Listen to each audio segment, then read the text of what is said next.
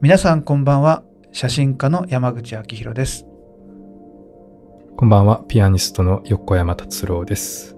このラジオでは3月17日に開催するコンサートノクターンについて主催のピアニスト横山達郎さんや出演されるアーティスト僕をはじめ現場を支えるメンバーと共にコンサートへの気持ちや音楽のことなどを掘り下げて話していけたらと思っています。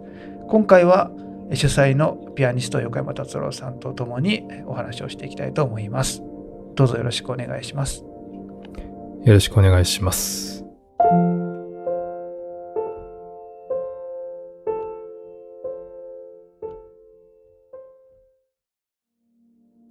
はい。というわけで、えーはい。第何回かはちょっと省略しますが横山さんとまたお話ししていきたいと思います、よろしくお願いします。よろしくお願いします。そうお話ししたいなって思っていたことがちょうどこの、えーこのラジオ収録してる最中にも何度か電話でお話をしていたあの、うんうん。チケットのはい。販売というかチケットについてなんですが、あのこれちょっとあの説明すると長くなるんで簡単にこう経緯をお話ししていきたいと思うんですけどはい。去年になりますよね。あのうん僕と,、えー、と横山さんとうん。で空見くんと,、えー、と郡司さんとこの4人で「静かの海で」というタイトルで展示会を行ったんですよね。そうですね。はい。うん。でその展示会自体がこのノクターンにつながる序章のような位置づけで、うんこの世界観を紹介できたらということで4人で制作したんですがその時にあの僕が6枚の写真を展示しましてうん。この6枚を使って何かこうノクターンにつなげるためにできないかなっていうのをこう考えていてうん。でそこでこう実際のあの紙のチケットをうんうん。あの作る段階になった時になんかうまくこれとその写真を組み合わせてどこかで何かできないかなって思ったのが出発点で。うん。でこう最終的などんな形になったかって僕らの理想で言えばどこかのお店とかどっかの協力者のところにその写真1枚と、まあ、チケットと今回のノクターンのフライヤーを置いていただいて。でねそこであのよかったら来てくださいっていうような形であの一緒にこう当日まで頑張ってもらえたらっていうような気持ちでできたら一番理想だなと、まあ、思っていたわけですよね。そうですね。うん。そう。まあ、ただそんなうまくいくかどうかわからないっていうので結構横山君と2人で不安不安がっていたというか。まあそうですね。やっぱお願いする形だしどうなるかなっていうね。うん横山さんとかこう皆さんにそういうことをこうお願いさせるっていうのもなかなかどうなのかなっていうふうに考えてしまってこれ実際どういう経緯でこう決まっていったというか詳細僕そういえば流れみたいなものはそんなに聞いてなかったんですけど。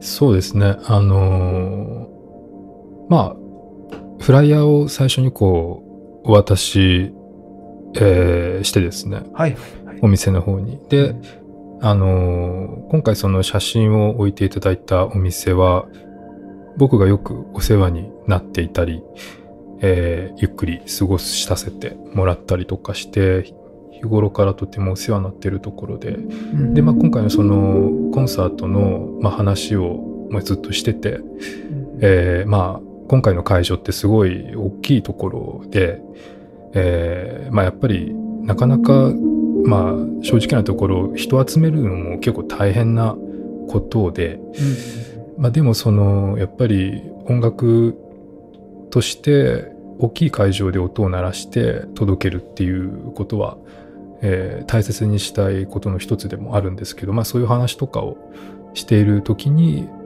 今回のその、その去年やった展示の時の写真のお話と紙チケットのがあってと話をして、で、もう一つ言うと、あの、会場の方で紙のチケットの販売っていうのがちょっと今回できなくて、ああ、そういったとこもそうあってですね。で、まあ、山口さんとそういう話をしていたこともあったので、まあよかったら協力していただけるとっていうことでちょっとお願いをして、で、紙チケットの方を置かせていただいたりとか、あとその写真の方も、まあ正直その、写真はもちろん美しいものなんですけど、あの、やっぱりお店に置かせていただいたりって、やっぱりこう貼ったりさせてもらうわけなので、まあそれぞれのあのお店のもちろん世界観もあるし、うんなかなかそういうのってね、あの、できそうでできないことというかですね。すねだから結構僕も慎重に。というかドキドキ。大丈夫かなっていうところもあって。でも、あの、快く引き受けていただいてですね、思いのほかあの写真の方も、あの、結構、まあ、断られるっていうとあれですけど、うん難しいかなと思ってたんですけどい、や、そうですよ。貼ってね、いただいて、本当にありがたいな、やーありがたい、ありがたいですね。はい、思ってますね。えーこういうあ案みたいな、アイデアみたいなものは、あの結構出てくるじゃないですか。話をしてれば、うん。こういうふうにできるんじゃないか。ああいうふうにできるんじゃないかって。でも実際それをあの行動にできるかっていうと結構そのね。自分たちの力というよりはまあなんだかんだそれは常識的に無理だよねと、うん。ね、落ち着いてしまうこともまあ結構あるので、今回そういうふうにこうまさか置いてもらえるとは思っていなかったところがあったんで、いや、本当ですね。うん。本当に。本当にありがたくて。驚いていて、大っすね。ううんん、嬉しかったですね。まあ、その普段からあの横山さんが行っている場所。うん。っていうところがまあさらにその安心感と信頼感を増すなと思ってて、うん。まあ、多分そのそれぞれのお店とかについては後ほど多分 SNS とかであの投稿してたりしたりするとは思うんですけど。そうですね。そのこのラジオの時には貼ってるかもしれないし。うん。ね、実際あれですよね。その今何件ぐらいなんですかね？えっと、結構チケットは置かせていただいていて、はいはい。10店舗ぐらいは、10あ10行くか行かないかぐらいかな。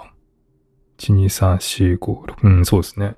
そのコンセプトを超えてきてしまったんですよね。そうであすね。のささすがに多分僕らの中で案に6店舗はもう超えないでしょみたいな気持ちが多分どっかであってうん。まあそんなくらいではないかなとあの予測してたからあんまりそういう気にしてなかったんですよね。そうですね。うん。どうやらこうね自分たちのこう身の丈を逆に低く考えていたのか、まあ、横山さん自体がこうそのもっと自信を持ってって周りの人から多分言われるかもしれないですよね。いや、もう本当なんか、フライヤーをね、こう置かせてもらったりとか、はいそれだけでもありがたいと本当思ってて、そうですよねちょっと緊張するぐらいなんですよね。フライヤーを置かせてくださいっていう時も、なんて言うんだろうな。そうねやっぱり、基本的に自分たちの宣伝のためであることなので、それをこう受け入れていただけるかなっていうのは、いろいろね、思う時もあるけど、それを、それだけでもありがたいけど、チケットとかそういったところも協力していただけるっていうのは、まあ本当に予想外って言ったらあれですけど、嬉しいうん形でした。うん。そうですよね。そのまあ紙チケットもあるっていうことですよね。要は、今更ですけど、その紙チケットもありますそうですね。はい。うん、あのオンラインでもちろんチケットは買えるけれど、あの紙うんもきちっとあるので、そうですね。うんなので、そちらもそういった各場所で、うん。まあ手に入れることができますっていうことですね。うん。うんそうですね。はい。